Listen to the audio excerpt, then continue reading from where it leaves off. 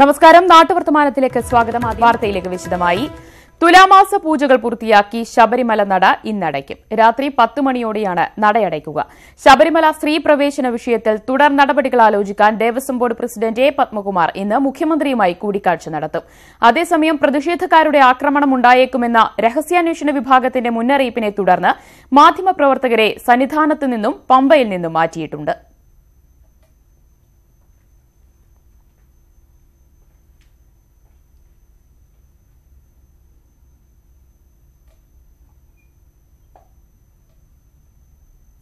സർക്കാർ വകുപ്പുകൾ തമ്മിലുള്ള തർക്കം മൂലം ദുരിതം അനുഭവിക്കുകയാണ് കൊല്ലം അച്ചൻകോവിൽ നിവാസികൾ.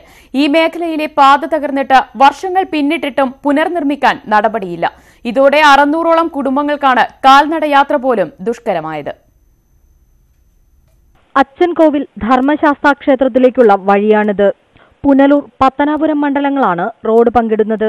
ഇതിൽ പുനലൂർ മണ്ഡലത്തിലെ ഭാഗമായ ആര്യങ്കാവ് പഞ്ചായത്തിലൂടെ പത്ത് കിലോമീറ്ററിൽ താഴെയാണ് റോഡ് കടന്നു പോകുന്നത് ബാക്കി ഭാഗം പത്തനാപുരം മണ്ഡലത്തിലെ പിറവന്തൂർ പഞ്ചായത്തിലൂടെയും ചെമ്പനരുവി മുതൽ അച്ചൻകോവിൽ വരെയുള്ള റോഡിനെ ആശ്രയിക്കുന്നത് അറുന്നൂറോളം കുടുംബങ്ങൾ. രണ്ട് പതിറ്റാണ്ടായി അറ്റകുറ്റപ്പണി നടത്തിയിട്ട്. റോഡിനെ ചൊല്ലി പി ഡബ്ല്യു ഡിയും വനം വകുപ്പും തമ്മിലുള്ള തർക്കമാണ് കാരണം. റോഡിലൂടെ ഗതാഗതം സാധ്യമല്ലാതായതോടെ രോഗികളെ ആശുപത്രിയിൽ എത്തിക്കാൻ പോലും ബുദ്ധിമുട്ടുകയാണെന്ന് പ്രദേശവാസികൾ പറയുന്നു. ഒരു ഗ്രാമത്തിന്റെ തീരാവേദനയുടെ നടുവിലാണ് ഞങ്ങൾ അലിമുക്ക് ചെമ്പനരുവി അച്ചൻകോവിൽ റോഡ്. ഈ റോഡിന്റെ ശാപം മൂലം ദുരിതം മൂലം യാത്ര ചെയ്യാൻ പോലും വയ്യാത്തൊരവസ്ഥ. സ്കൂൾ കുട്ടികളടക്കം സ്കൂളിൽ പോകാൻ വയ്യാത്തൊരവസ്ഥ. ഒരുപാട് നിവേദനങ്ങൾ നൽകി കാത്തിരിക്കും ഇതുവരെ ഈ റോഡിന്റെ ശാപം മാറാൻ കഴിഞ്ഞിട്ടില്ല. ആശുപത്രി യഥാസമയം രോഗികളെ എത്തിക്കാൻ കഴിയുന്നില്ല. റോഡിന്റെ ശോചനീയാവസ്ഥ പരിഹരിക്കണമെന്നാവശ്യപ്പെട്ട് നാട്ടുകാർ നിരവധി പരാതി നൽകിയിട്ടും നടപടിയില്ല. റോഡ് നവീകരണത്തിന് വനം വകുപ്പ് പതിനഞ്ച് കോടി രൂപ അനുവദിച്ചെങ്കിലും ടെൻഡർ നടപടികൾ എങ്ങുമെത്തിയില്ല ന്യൂസ് എയ്റ്റീൻ പുനലൂർ. വൈക്കം മുണ്ടാർത്തുരുത്ത് നിവാസികൾക്ക് ആശ്വാസമായി പുതിയ പാലം വരുന്നു. മുന്നൂറോളം കുടുംബങ്ങൾ കഴിയുന്ന മുണ്ടൂരിലേക്ക് എത്താൻ കടത്തുവെള്ളം മാത്രമായിരുന്നു ആശ്രയം. പാലത്തിന്റെ തറക്കല്ലിടൽ C K Asha M L A നിർവഹിച്ചു. കഴിഞ്ഞ പ്രളയകാലത്ത് വള്ളം മറിഞ്ഞ് രണ്ട് മാധ്യമപ്രവർത്തകർ മരിച്ചത് ഇവിടെയാണ്. മുണ്ടാർ നിവാസികളുടെ ദുരിതത്തിന് പരിഹാരമാകുന്നു. കാലങ്ങളായുള്ള പാലമെന്ന ആവശ്യത്തിന് അധികൃതരുടെ പച്ചക്കൊടി. കല്ലറ തലയാഴം തലയോലപ്പറമ്പ് പഞ്ചായത്തുകളുടെ മധ്യഭാഗത്തായാണ് മുണ്ടാർ ദ്വീപ്. മുന്നൂറിലധികം കുടുംബങ്ങളാണ് ഇവിടെ കഴിയുന്നത്. ഇവർക്ക് പുറംലോകവുമായി ബന്ധപ്പെടാൻ ഏഴുമാം കായൽ കടക്കണം. കടുത്തുരുത്തി ബ്ലോക്ക് പഞ്ചായത്ത് എട്ട് വർഷം മുൻപ് അനുവദിച്ച കടത്തുവെള്ളം മാത്രമാണ് ഏക ആശ്രയം. പാലം നിർമ്മിക്കാനുള്ള തീരുമാനം ആശ്വാസം നൽകുന്നുവെന്ന് പ്രദേശവാസിയായ ജനാർദ്ദനൻ പറയുന്നു. ഞങ്ങൾ നിരന്തരമായി വളരെ വർഷങ്ങളോളമുള്ള കാത്തിരിപ്പിന് ശേഷമാണ് ഞങ്ങൾക്ക് ഈ ഒരു പാലം ഇങ്ങനെ അനുവദിച്ച് കിട്ടിയത്. അത് ഞങ്ങൾക്ക് ഏറ്റവും സന്തോഷമുണ്ട് ഇക്കാര്യത്തിൽ മേഖലയിൽ വള്ളം മറിഞ്ഞ് അപകടങ്ങളും പതിവാണ്. പാലം നിർമ്മാണം തുടങ്ങാൻ C K Asha M L എയുടെ ആസ്തി വികസന ഫണ്ടിൽ നിന്നും മുപ്പത്തിയെട്ട് ലക്ഷം രൂപ അനുവദിച്ചിരുന്നെങ്കിലും ജലസേചന വകുപ്പിന്റെ അനുമതി ലഭിച്ചില്ല. ഇതോടെ നിർമ്മാണം തുടങ്ങാൻ വൈകി. ഇപ്പോൾ എസ്റ്റിമേറ്റ് തുക പുതുക്കി അനുവദിച്ചതോടെയാണ് നിർമ്മാണം തുടങ്ങാൻ തീരുമാനമായത്.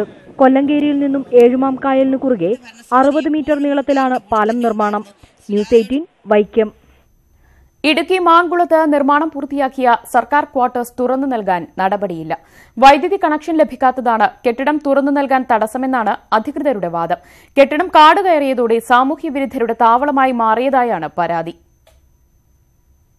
ലക്ഷങ്ങൾ മുടക്കി നിർമ്മിച്ച കെട്ടിടമാണിത്. ചുറ്റും കാട് കയറി ഉപയോഗശൂന്യമായി.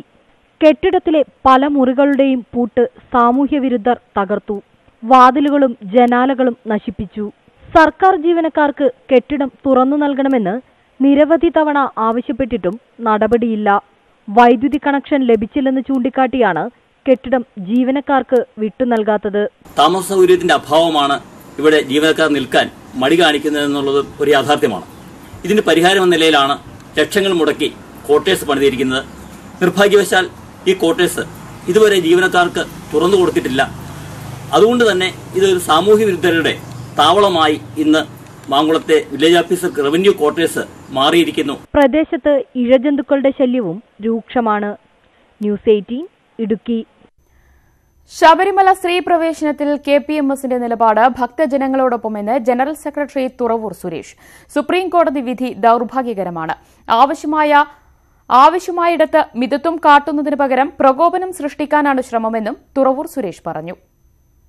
ദളിതുകൾ ആയിട്ടുള്ള ആളുകൾക്ക് ഒരു വിവേചനവുമില്ലാത്ത ശബരിമലയിൽ വിവേചനമുണ്ടെന്ന് പറയുന്നത് പൂജ വിധികൾ അനുസരിച്ചുള്ള നടത്തിപ്പിലാണ്. അത് നിയന്ത്രണമാണ്. ആ നിയന്ത്രണം സ്വീകരിക്കുക എന്നുള്ളത് എല്ലാ ഭക്തരുടെയും ധാർമ്മികമായ ബാധ്യതയാണ്.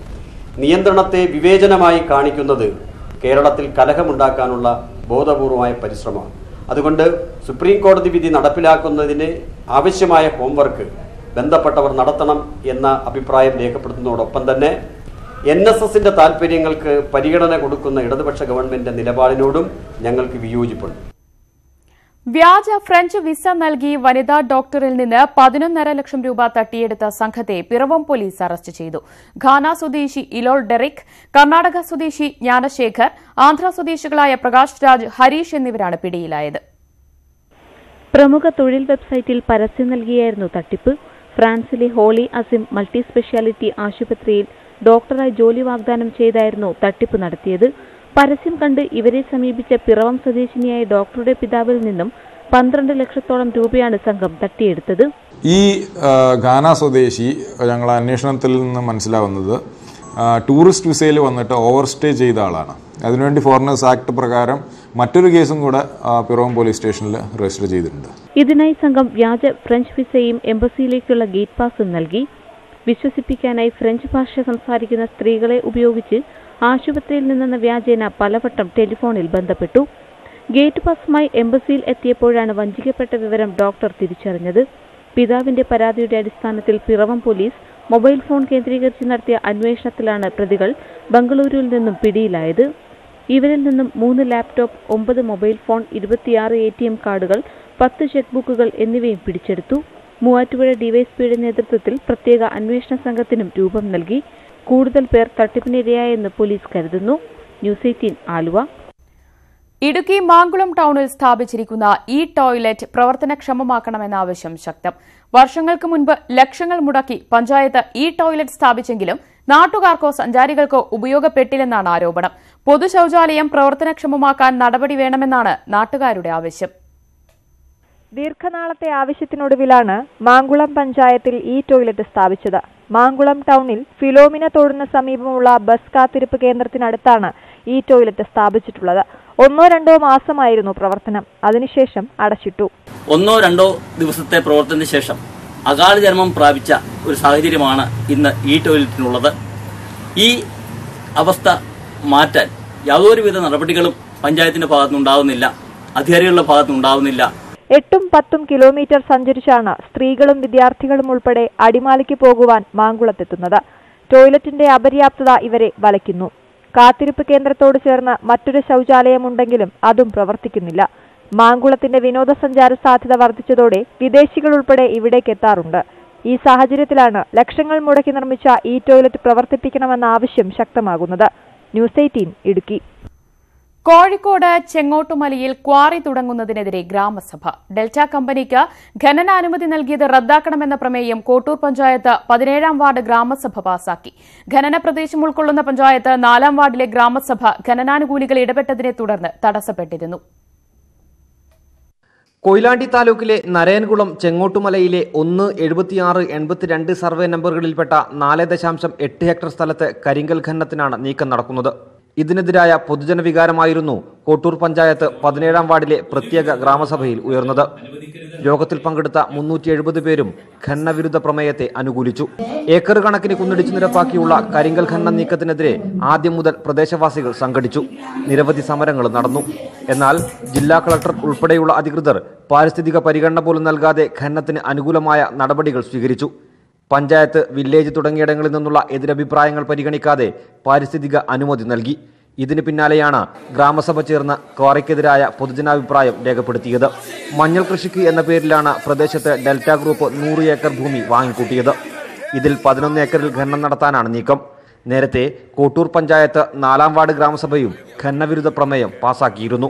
News eighteen Kozhikode. ഭിന്നശേഷിക്കാരായ പതിനാല് യുവതി യുവാക്കൾക്ക് ഗുരുവായൂരിൽ മാംഗല്യം. കരുണ ഫൗണ്ടേഷനാണ് സൌജന്യമായി വിവാഹം നടത്തിക്കൊടുത്തത്.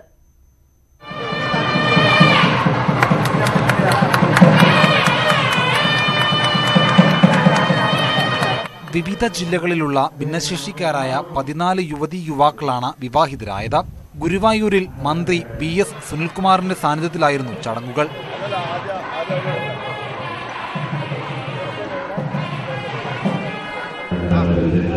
എനിക്ക് കരുണയിൽ നിന്നും കിട്ടിയ ഇത് ജീവിത പങ്കാളി കിട്ടിയത് സന്തോഷമാണ്.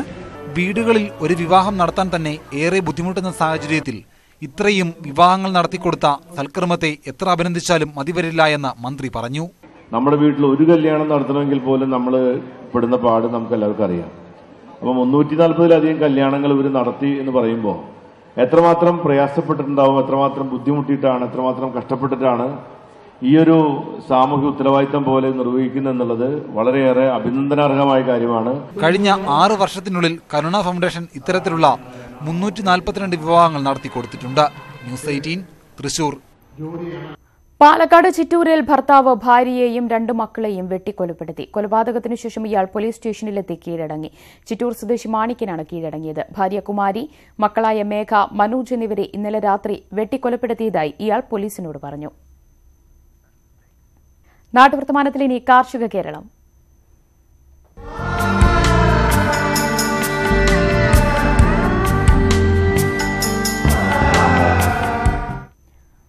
രുചിയിൽ കയ്പാണെങ്കിലും പാവയ്ക്ക ജീവിതത്തിൽ മധുരമാകുമെന്ന പ്രതീക്ഷയിൽ കഴിയുകയാണ് ഇടുക്കിയിലെ കർഷകർ. പ്രളയകാലത്തെ പേമാരിയും മണ്ണിടിച്ചിലും കനത്ത കൃഷിനാശം വിതച്ച പ്രദേശങ്ങളിലെ കർഷകരാണ് പാവൽ കൃഷിയിലൂടെ മികച്ച വരുമാനം പ്രതീക്ഷിക്കുന്നത്. രാജാക്കാട്ട് മാത്രം ഇരുന്നൂറ്റമ്പതിലേറെ കർഷകർ മറ്റു വിളകൾ വിട്ട് പാവൽ കൃഷി ചെയ്യുന്നുണ്ട്. കഴിഞ്ഞ സീസണിൽ ലഭിച്ച മികച്ച വിളയും വരുമാനവുമാണ് പാവലിലേക്ക് തിരിയാൻ കൂടുതൽ കർഷകർക്ക് പ്രചോദനമായത്. ഏത്തവാഴയും പയറുമൊക്കെ കൃഷി ചെയ്യുന്നുണ്ടെങ്കിലും കർഷകരുടെ പ്രധാന ശ്രദ്ധ പാവലിൽ തന്നെയാണ്. മണ്ണും കൃഷിയും തകർത്തു കളഞ്ഞ പേമാരി സൃഷ്ടിച്ച കഷ്ടതകളിൽ നിന്ന് കരകയറാൻ പാവൽ സഹായിക്കുമെന്ന പ്രതീക്ഷയിലാണ് ഇവർ. വർഷം വലിയ കുഴപ്പമില്ലായിരിക്കും എന്നോർക്കൊണ്ട് കൃഷി ചെയ്യുന്നു മഴ ഇടയ്ക്കിടയ്ക്ക് വരുന്നതുകൊണ്ടൊരു ആശങ്കയുണ്ട്. കർഷകർക്ക് പൂർണ സഹായങ്ങളും ഒരുക്കി കൃഷിവകുപ്പ് ഉദ്യോഗസ്ഥരുമുണ്ട്. പതിനയ്യായിരം രൂപ സബ്സിഡിയും കർഷകർക്ക് നൽകുന്നുണ്ട്. ഇപ്പോൾ ഏകദേശം ഇരുപത്തഞ്ച് ഹെക്ടറോളം ക്ലസ്റ്ററിൽ ഉൾപ്പെടുത്തി കൃഷി ചെയ്യുകയും ബാക്കി ഒരു പതിനഞ്ച് ഹെക്ടറോളം സ്ഥലത്ത് ഇപ്പോൾ പച്ചക്കറി കൃഷി സ്റ്റാഗേഡായിട്ട് പല വീടുകളിലും ഒക്കെയായി കൃഷി ചെയ്യുന്ന ആളുകൾ ഇവിടെയുണ്ട്. നമുക്കിതിനെല്ലാം സബ്സിഡി കൊടുക്കത്തക്ക രീതിയിൽ ഇപ്പം നിലവിലുള്ള സംവിധാനത്തിൽ സർക്കാരിന്റെ സബ്സിഡി കൊടുക്കാൻ കർഷകരെ എല്ലാ സംവിധാനങ്ങളും ഇപ്പം നിലവിൽ കൃഷി ഭവൻ വഴിയുണ്ട്. പ്രതീക്ഷകൾക്കുമേൽ മഴയുടെ ഭീഷണി കർഷകരെ അലട്ടുന്നുണ്ട്.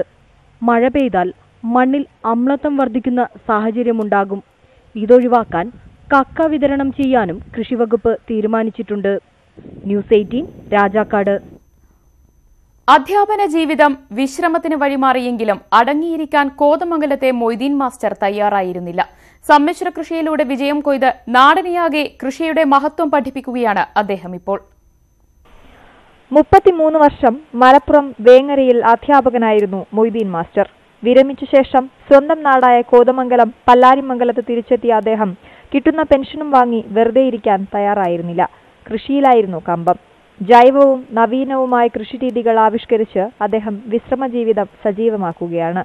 നെല്ലും വാഴയും കപ്പയും പച്ചക്കറിയും കൂടാതെ മീൻ വളർത്തലും തേനീച്ച വളർത്തലും എല്ലാം ഒരേ വളപ്പിൽ തന്നെ. ഇപ്പോൾ സമ്മിശ്ര കൃഷിയാണ് ഇപ്പോൾ ചെയ്യാറുള്ളത്. തേനീച്ച വളർത്തൽ മീൻ വളർത്തൽ നെല്ല് പച്ചക്കറി തുടങ്ങി എല്ലാവിധ കൃഷികളും സമ്മിശ്രമായിട്ടാണ് ചെയ്യാറുള്ളത്. അധ്യാപക ജോലി മുപ്പത്തിമൂന്ന് കൊല്ലം അധ്യാപക ജോലിയായിരുന്നു. അതിനുശേഷം റിട്ടയർ ചെയ്തതിനു ശേഷം നൂറ് ശതമാനം കൃഷിയിലേക്ക് ഇറങ്ങേണ്ടത് കൃഷിക്ക് ഒരു പ്രത്യേകതയുള്ളത് ജൈവ കൃഷിയാണ് ചെയ്യാറുള്ളത്. അതുകൊണ്ട് എല്ലാ കൃഷികളും എന്ത് സാധനം ഉണ്ടായാലും അകലെ നിന്ന് വരെ ആൾക്കാർ വന്ന് വാങ്ങാൻ വേണ്ടിയിട്ട് വരും. ഭാര്യ ഖദീജയും മലപ്പുറത്ത് തന്നെ അധ്യാപികയായിരുന്നു. അടുത്തിടെ വിരമിച്ച ശേഷം മൊയ്തീൻ മാസ്റ്ററുടെ കൂടെ കൃഷി കാര്യങ്ങളിൽ സജീവമായി. തോട്ടത്തിൽ നിന്നുള്ള വിളകൾ മൊയ്തീൻ മാസ്റ്റർ കൂടി അംഗമായ പല്ലാരിമംഗലം അടിവാടുള്ള കർഷക വിപണിയിലൂടെയാണ് വിൽക്കുന്നത്. ജൈവരീതിയിൽ കൃഷി ചെയ്ത നെല്ല് കുത്തി അരിയാക്കിയാണ് വിൽപ്പനയ്ക്ക് എത്തിക്കുന്നത്. വിശ്രമത്തിനായി നീക്കിവെക്കാമായിരുന്ന സമയത്താണ് കൃഷിയിലെ പരീക്ഷണങ്ങൾക്കായി ഉപയോഗിച്ച് മൊയ്തീൻ മാസ്റ്റർ നാടിന് തന്നെ മാതൃകയാകുന്നത്. News eighteen Kothamangalam. സാഹസിക കാഴ്ചയൊരുക്കി കോതമംഗലത്ത് ഭൂതത്താൻ കെട്ടിൽ നടത്തിയ ഫോർ വീൽ മഡ് റേസ് ശ്രദ്ധേയമായി. ദുരിതാശ്വാസ നിധിയിലേക്കുള്ള ധനശേഖരണാർത്ഥമാണ് ഭൂതത്താൻ കെട്ടിൽ മത്സരം സംഘടിപ്പിച്ചത്. കോതമംഗലം കേന്ദ്രമാക്കി പ്രവർത്തിക്കുന്ന ടീം റാലി സ്പോർട്സും ഓഫ് റോഡ് ഡ്രൈവേഴ്സും ചേർന്നാണ് ഏകദിന മത്സരം സംഘടിപ്പിച്ചത്. സെപ്റ്റംബറിൽ നടത്താനിരുന്ന ഇവന്റാണ്. പക്ഷേ നമ്മുടെ ദുരിത ഫ്ലഡൊക്കെ വന്നുകൊണ്ട് വളരെയധികം വെള്ളം കയറി കിടന്ന ഒരു സ്ഥലമാണിത്. അപ്പോൾ ഫ്ലഡൊക്കെ കഴിഞ്ഞു ഇപ്പോൾ പലരും ദുരിതത്തിലാണ്. അപ്പോൾ അതിന് വേണ്ടിയിട്ടൊരു ഫണ്ട് സ്വരൂപിക്കാവുന്ന ഒരു ലക്ഷ്യത്തിലാണ് ഇപ്പോൾ നമ്മൾ ഈ ഒരു ഇതുപോലത്തെ ഒരു ഇത് വീണ്ടും സംഘടിപ്പിച്ചിരിക്കുന്നത്. വലിയ ആഘോഷങ്ങളൊന്നുമില്ലാതെ മിതമായ രീതിയിലാണ് ഇത്തവണ നടത്തുന്നത്. പ്രളയത്തിൽ രക്ഷാപ്രവർത്തനത്തിന് മുൻപന്തിയിലായിരുന്നു ഓഫ് റോഡ് ഡ്രൈവേഴ്സ് ദുരിതാശ്വാസ നിധിയിലേക്കുള്ള ധനസമാഹരണാർത്ഥമാണ് ഫോർ വീൽ മഡ് റേസ് സംഘടിപ്പിച്ചത്. പെട്രോൾ ഡീസൽ വനിതാ വിഭാഗങ്ങളിലായാണ് മത്സരം നടന്നത്. നാൽപ്പതോളം വാഹനങ്ങളാണ് മത്സരങ്ങളിൽ മാറ്റുരച്ചത്. കയറ്റിറക്കങ്ങളും വെള്ളക്കെട്ടും ചെളിയും നിറഞ്ഞ ട്രാക്കിൽ നടന്ന മത്സരം വളരെ ആവേശകരമായിരുന്നുവെന്ന് വിജയ് സൂരജ് തോമസ്. കഴിഞ്ഞ നാല് വർഷമായിട്ട് ഞാൻ വരുന്നുണ്ട്. ആദ്യത്തെ വർഷവും രണ്ടാമത്തെ വർഷവും ഞാൻ മത്സരിച്ച അതിൽ അന്ന് ഡീസലിൽ എനിക്ക് തന്നെയായിരുന്നു ഫസ്റ്റ് കഴിഞ്ഞ വർഷം ഫസ്റ്റ് കിട്ടിയില്ല. പ്രൈസ് കിട്ടിയില്ല. ഈ വർഷം വീണ്ടും ഫസ്റ്റ് കിട്ടി വളരെ സന്തോഷം. രണ്ടിനും ഫസ്റ്റ് കിട്ടി വളരെ സന്തോഷം. പെരിയാർ വാലി ജലസേചന പദ്ധതിയുടെ കാച്ച്മെന്റ് ഏരിയയായിരുന്നു മത്സരത്തിന് തെരഞ്ഞെടുത്തത്. വളരെ സാഹസികത നിറഞ്ഞതാണ് ഭൂതത്താൻകെട്ടിലെ ട്രാക്കിലെ കാറോട്ടമെന്ന് വനിതാ മത്സരാർത്ഥി ആതിര. നമ്മൾ ആർട്ടിഫിഷ്യലി ഉണ്ടാക്കിയ ട്രാക്കുകളാണ് സാധാരണ കാണുന്നത്. ഇതിന്റെ ഒരു നാച്ചുറൽ ട്രാക്കാണ് അത് തന്നെയാണ് ഇതിന്റെ ഏറ്റവും ഭംഗിയും കൂടുതൽ അഡ്വഞ്ചറാണ് പിന്നെ ഇതിന്റെ അകത്ത് ഏറ്റവും വലിയ പ്രത്യേകത എന്ന് പറഞ്ഞാൽ സ്ലഷ് കൂടുതലുണ്ട്. സ്ലഷ് ഡ്രൈവ് എൻജോയ് ചെയ്യാൻ പറ്റും. പിന്നെ റിവർ ക്രോസിംഗ് ആണുള്ളത്. എല്ലാം നന്നായിട്ട് എൻജോയ് ചെയ്യാൻ പറ്റുന്ന ഒരു ട്രാക്കാണ് Antony John M L A ആണ് ചടങ്ങ് ഫ്ളാഗ് ഓഫ് ചെയ്തത്. മത്സരത്തിൽ നിന്ന് ലഭിച്ച തുക സംഘാടകർ എം എൽ എക്ക് കൈമാറി. ചടങ്ങിൽ നഗരസഭാ കൌൺസിലർമാരായ K V Thomas Princy Eldhose block panchayat അംഗം എ വി രാജേഷ് തുടങ്ങിയവർ പങ്കെടുത്തു. News eighteen Kothamangalam. വിദേശത്ത് മരണപ്പെടുന്ന പ്രവാസികളുടെ മൃതദേഹം സൌജന്യമായി നാട്ടിലെത്തിക്കുന്നതിന് കേന്ദ്ര സർക്കാർ ഇടപെടണമെന്ന് കേരള പ്രവാസി സംഘം സംസ്ഥാന കമ്മിറ്റി. രാജ്യത്തിന്റെ വികസനത്തിലും സാമ്പത്തിക ഉന്നമനത്തിനും മുഖ്യ പങ്ക് വഹിക്കുന്നവരാണ് പ്രവാസികൾ.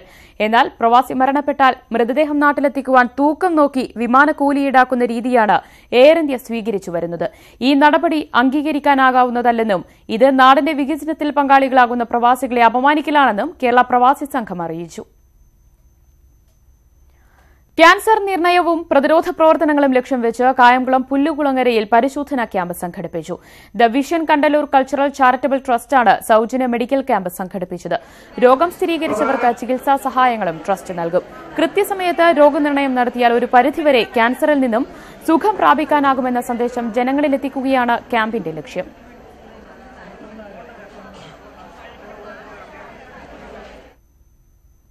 സോഷ്യൽ മീഡിയകളിൽ ഡബ് സ്മാഷ് ടിക്ടോക്ക് എന്നിവ ചെയ്യുന്നവരുടെ ഉന്നമനത്തിനായി കൂട്ടായ്മ. കൊച്ചി മറൈൻ ഡ്രൈവിലാണ് ഡബ് സ്മാഷിലൂടെ ശ്രദ്ധ നേടിയവർ ഒത്തുകൂടി കൂട്ടായ്മ രൂപീകരിച്ചത്. കുട്ടഞ്ഞാണ്ട ഫോട്ടോ വല്ലതും ഉണ്ടോ? അല്ല കല്യാണത്തിന്റെ വല്ല ഫോട്ടോ? അല്ല നിങ്ങൾ ഇതിനു മുമ്പ് നിങ്ങൾ എടുത്ത ഫോട്ടോ? സമൂഹ മാധ്യമങ്ങളിലൂടെ മാത്രം കണ്ട് ഒരുമിച്ച് പാട്ടുപാടിയവരും അഭിനയിച്ചവരും ഒടുവിൽ നേരിൽ കണ്ടു. കൊച്ചി മറൈൻ ഡ്രൈവ് ആയിരുന്നു സംഗമവേദി. സംസ്ഥാനത്തെ വിവിധ ഭാഗങ്ങളിൽ നിന്നുള്ള നൂറോളം ഡബ്സ്മാഷ് കലാകാരന്മാരാണ് മറൈൻ ഡ്രൈവിൽ ഒത്തുകൂടിയത്.